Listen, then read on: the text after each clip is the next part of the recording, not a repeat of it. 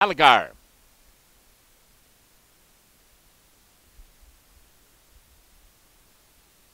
Elgar and Gallardo take their spot. They're at the post. And they're off. The favorite Food and Wine is away alertly, but immediately taken in hand with Tune In. Now moving up from between horses, Saucy Derrick is up on the outside, and the last horse away is Buffalo Max. To the clubhouse turn they go.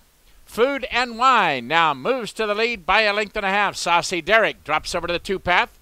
Saving ground now to be second. Just his inside. Tune in is there third. Then we go back to Elgar, the gray horse on the outside fourth. Mighty Ghost skims the rail now fifth. He's being joined by Obi Wan alongside now sixth. A length and a half farther back to Juan Pablo seventh. And far, far back is Buffalo Max. He'll spot him 20 as they turn up the backstretch. Food and Wine takes them along on the lead under Hernandez, relaxed on the lead and has it now by two.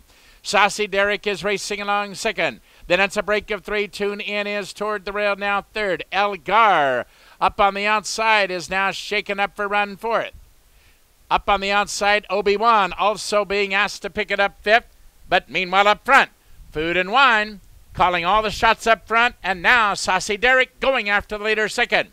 Three lengths farther back, Tune In, ranging in now third. There's Juan Pablo with a sharp turn of foot from between horses fourth as they turn into the stretch and cut to the wire. Tune In along the rail, now strikes to the lead. Food and Wine tries to battle back. Along the rail, Juan Pablo continues his run. On the outside is Saucy Derrick, drifting inward in deep stretch.